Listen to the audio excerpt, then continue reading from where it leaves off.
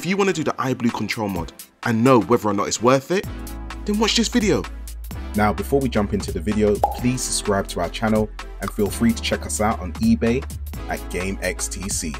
You'll get valuable information on leveling up your video game hardware and software. If you modded your Dreamcast, then you know you have to remove the four screws located underneath the console. So let's go straight into it and take off the lid.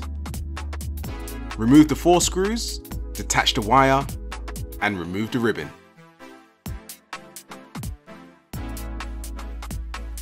As soon as you've removed your controller port, you then need to do some drilling. Now, within the description of this video, I have put down some measurements for guidance. What you'll need here is a 5-bit drill bit and you want to make a hole for the iBlue control mod so that the reset button can actually fit in. So let's start drilling.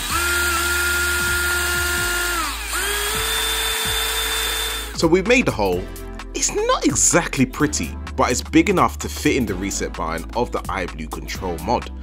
You need to be able to toggle left, toggle right, toggle down and push it in. So it needs to be a big enough circumference for it to fit. To be quite honest, I'm not a fan of the look, and at this point I really don't think it's worth the effort to actually install this, considering that there's other things that you can buy that are on the market.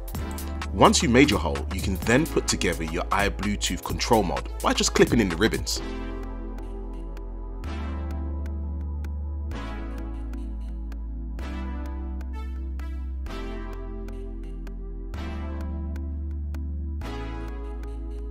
Once you connect to the ribbons, you can start the installation process. But we're barely two minutes in and we've come across a hurdle, which is you can't install the iBlue control mod if you got a European Dreamcast and you got the original PSU. Now if you've got a Jap console, then the iBlue control mod will fit perfectly fine. So in order to get around this, you need to install a new PSU.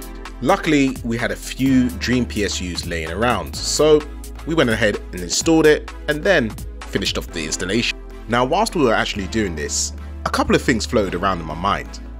One, we had to alter the Dreamcast which I wasn't particularly happy with. Two, we had to install a new PSU which was an additional cost.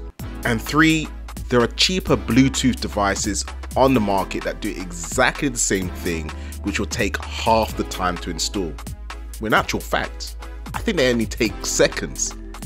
So if you were to ask me, is this module worth it? I don't think it is. Overall, I wasn't impressed. However, let's sync our controller and show you how it works.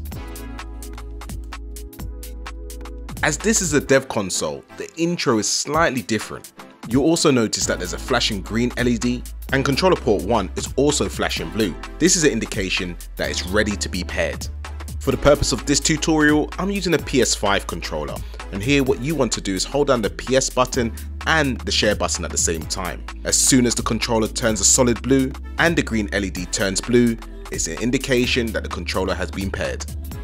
Now that your controller is paired, you can use it and enjoy it.